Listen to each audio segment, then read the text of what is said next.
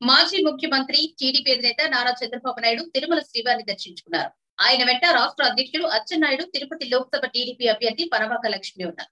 తిరుపతి ఉప ఎన్నికల ప్రచారంలో భాగంగా తిరుపతి చేరుకున్న చంద్రబాబు ముందుగా తిరుమల వెళ్ళి శ్రీవారిని దర్శించుకున్నారు. ఏడు రోజుల పాటు తిరుపతి పార్లమెంట్ నియోజకవర్గ పరిధిలో చంద్రబాబు ప్రచారం చేపడుతున్నారు. అయితే ఆ తర్వాత తిరుపతి చేరుకున్న టీడీపీ అధినేత నారా చంద్రబాబు నాయుడికి స్థానిక మహిళలు హారతులు పట్టారు ప్రచారానికి విచ్చేసిన ఆయన్ను స్వాగతించారు. తిరుపతి టీడీపీ ఇన్ఛార్జ్ రాజు యాదవ్ను కలిశారు నారా చంద్రబాబు నాయుడు. ఆయన ఇంటికి వెళ్ళారు అనంతరం ప్రచార పర్వంలో కొనసాగారు. చంద్రబాబు రాకతో తిరుపతి మొత్తం కోలాహలంగా మారింది.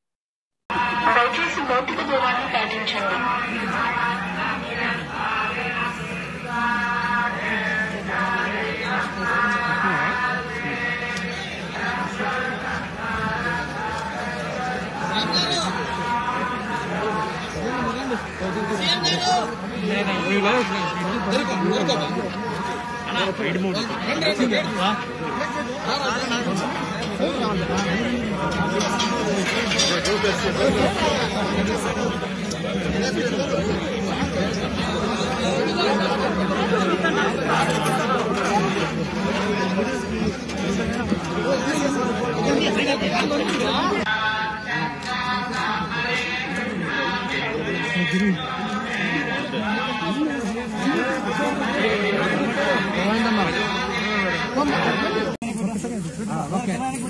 ఒక సెకండ్ సైడ్